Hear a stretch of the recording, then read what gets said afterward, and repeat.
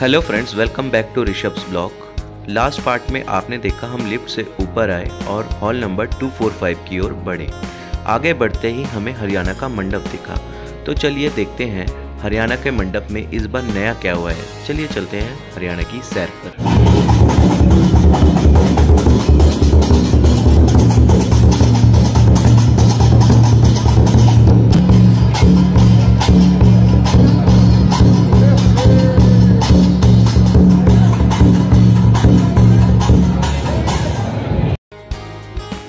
हरियाणा में घुसते ही जो हमें पहली चीज़ नज़र आई, वो थी एग्रीकल्चरल एक्टिविटीज़ पे focus and then secondly vocal for local and local to global पे फोकस तो चलिए देखते हैं इसके आगे के स्टॉल्स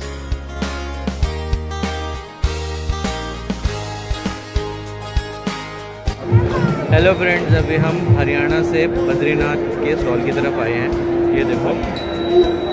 बद्रीनाथ। यहाँ पे कुछ फ़ोटो खिंचवाने के बाद हम आगे बढ़े उत्तराखंड की ओर।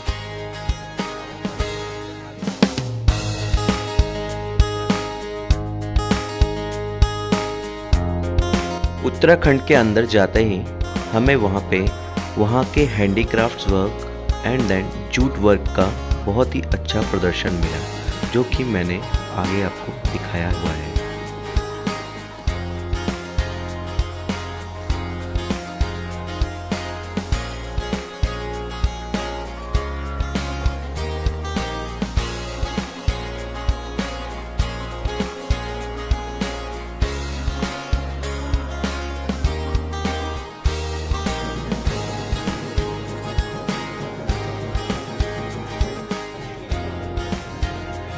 उत्तराखंड के बाद चलिए अब चलते हैं केरल की ओर, जो कि इस बार आईआईटीएफ का फोकस स्टेट भी है। Let's go to Kerala then घुसते ही हमें केरल का बहुत ही सुंदर मंडप दिखा।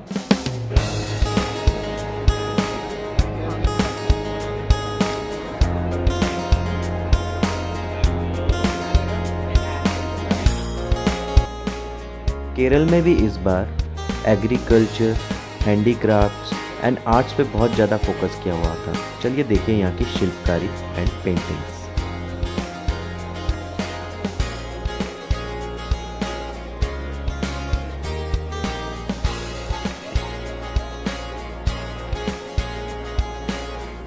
फ्रेंड्स होपफुली आपको ये सेकंड पार्ट पसंद आया हो।